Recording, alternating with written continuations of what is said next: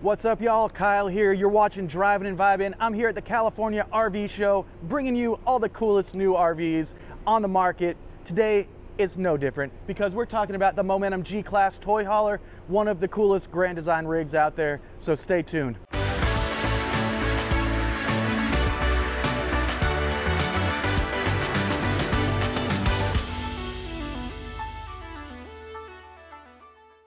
Welcome back to the channel, y'all. Thank you so much for joining me here today.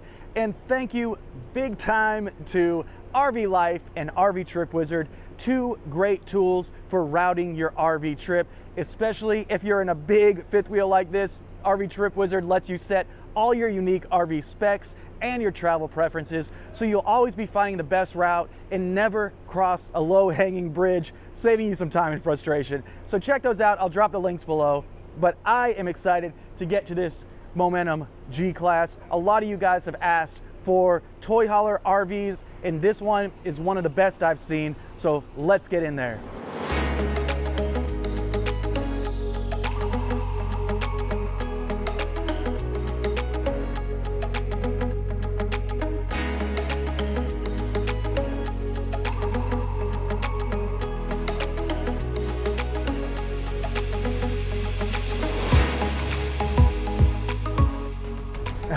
So let me read off some of these specs because I know I won't be able to remember them all. But before we get into the big tour, I want to give you some of the major specs that might affect how you view the rig.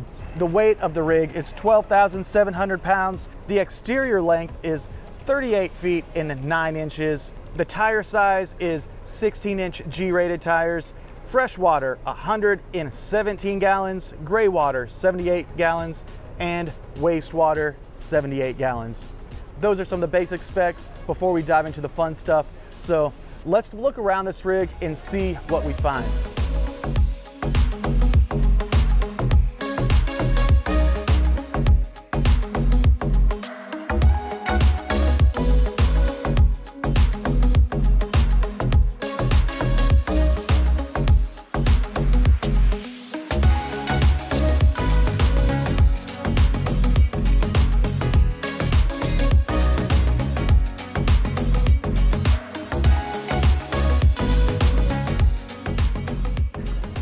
Just starting with a basic walk around of the rig, one of the key features that I love is this deck. So it is a toy hauler. This can go all the way to the ground. You can bring your toys up here, but also we've got this awesome railing around here with a gate to turn it into a deck whenever you're set up camp.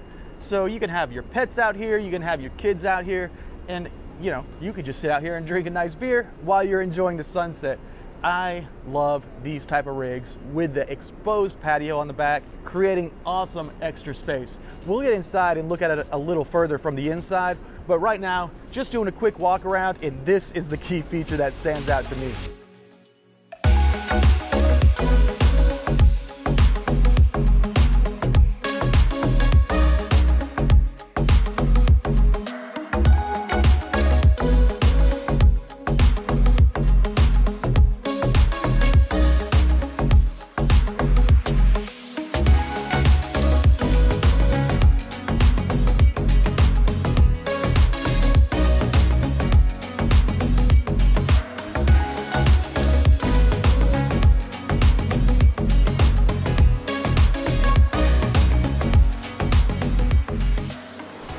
Is on the driver's side of the rig. On the back side, we walked around from the deck.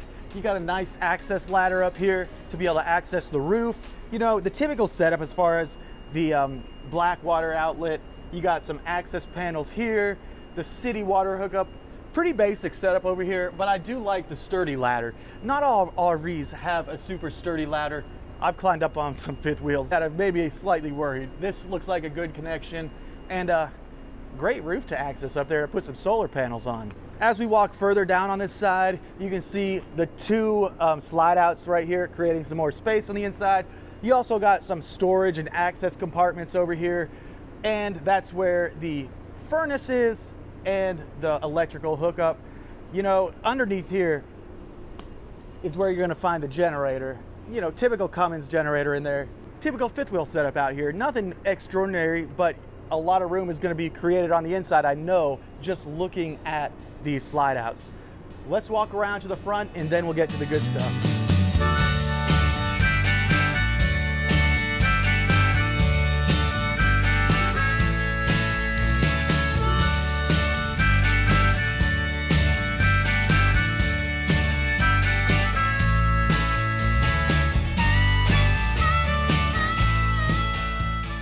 One last thing I want to mention before we go inside are these beautiful MORryde steps.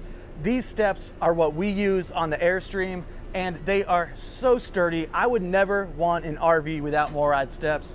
On their side, on the rear entry door, they do have more standard RV steps.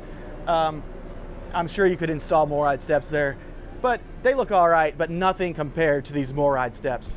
So right when you walk in the front door, you can turn left to see the toy hauler area or come right to this kind of mixed use space. We have a comfortable sofa eating area, a table eating area, and a beautiful kitchen. This has so much counter space right here. And it also has what looks like a TV that slides up right here. So you can watch TV while you're eating dinner. You got a nice control panel for the stereo, a nice faux fireplace down here to set the ambiance. This is a beautiful three burner stove, glass top you can set things on or lift it up for cooking. Propane oven, storage underneath, more storage underneath the sink. And uh, just look at all this beautiful cabinetry up here. Sorry, my sunglasses were on. It looked dark, but uh, yeah, it is dark wood. And uh, it's got this nice glass finish pattern on it. I'm not upset with the way these cabinets look. A lot of times in RVs, it can be hit or miss. These are pretty sleek, pretty um, warm in here, so no complaints. And the best part about all of this is the counter space. Absolutely beautiful counter space in here.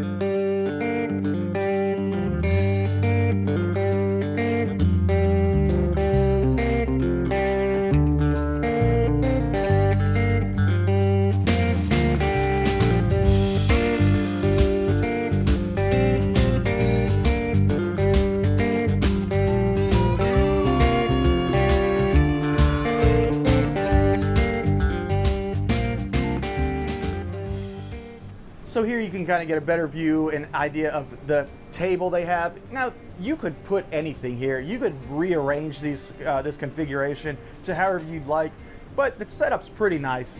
And the fridge, obviously, oh, I mean, this is bigger than some residential fridges. Double doors, storage space on each side of the door, and then you have a double freezer up here. Beautiful. I mean, this is like an RVer's dream at least in my world with our Airstream. But uh, great, great space for the fridge. You got a little storage space up here. You can never go wrong with a little extra storage to throw stuff. Kitchen's great, floors are beautiful. Very, very happy with what I see here in the kitchen.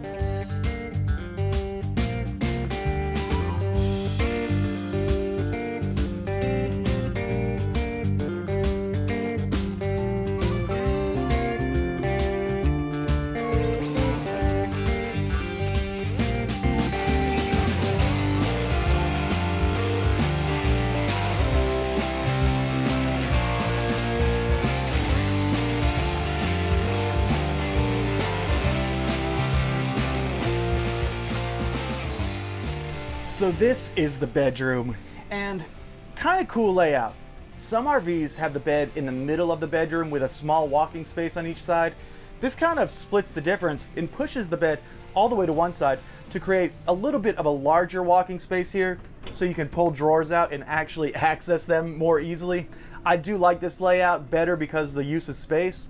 It'll just be slightly hard to change the sheets on the wall side back here and here, but not a big issue. Great use of space. So much storage over here. The mirrors, you can see the mirrors on these um, doors. Pretty good. RVs love mirrors for some reason. I think they overdo it sometimes, but the design does look nice. You have two access ways to the bathroom. One here through the bedroom, and then also one kind of through the living room area. And uh, a AC unit here in the bedroom as well. Feels pretty good. I would be, I'm pretty convinced this is a queen size bed, but it looks a little bit bigger than a queen, but kind of not as big as a king. All right, I could get comfy here. pretty nice.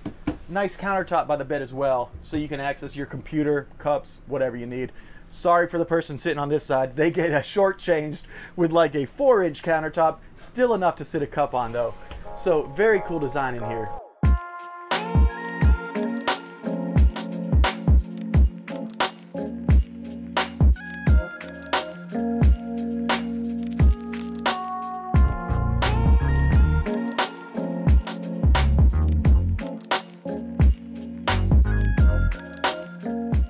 Bathroom's pretty nice too. Like I said, you got the two entryways.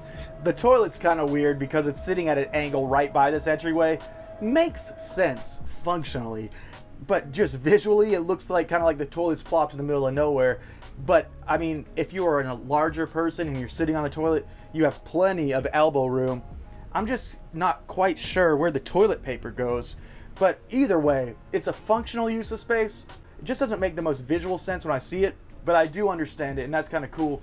Shower is huge. Stand up in here, and uh, my hands can touch the skylight, but I got tons of room to spread out. So the shower is great. And you got a nice little vanity over here with a sink, some storage underneath there, storage compartment behind the mirror. Lots of storage in this rig and a, a really nice looking bathroom. I like the colors, I like the layout here. And the skylight really adds to the shower experience. So very cool. Now, though, it's time for the most fun part. Let's head to the back and see what the toy hauler situation's like.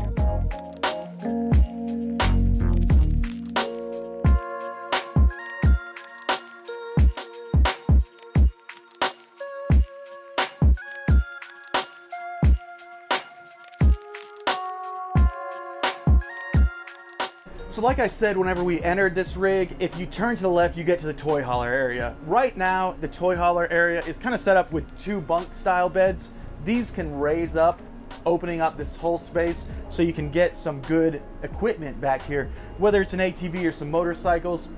But also, if you're on a family vacation, not hauling anything around but some extra kids, stick them up here, down here, you got a bathroom right here too, so they have their own separate bathroom. It's not gonna have a shower in it, but we still have the sink, the toilet, so they don't have to go up to the other end of the rig and use your nice bathroom. Uh, it makes a lot of good sense.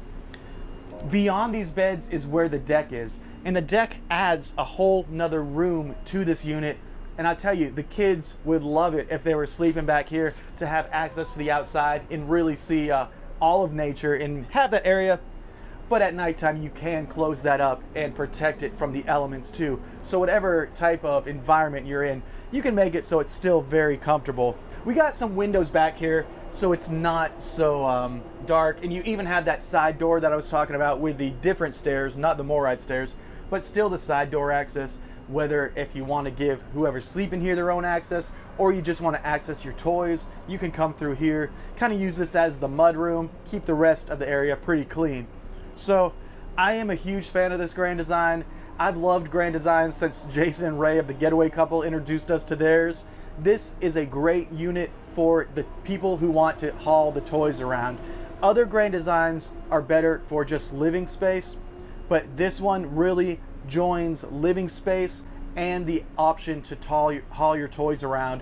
All right, y'all, so let me know what you think about this Momentum Toy Hauler G-Series. A lot of you asked about seeing these toy haulers.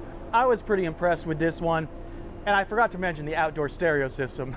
so you can have a good time outside or inside. Great rig.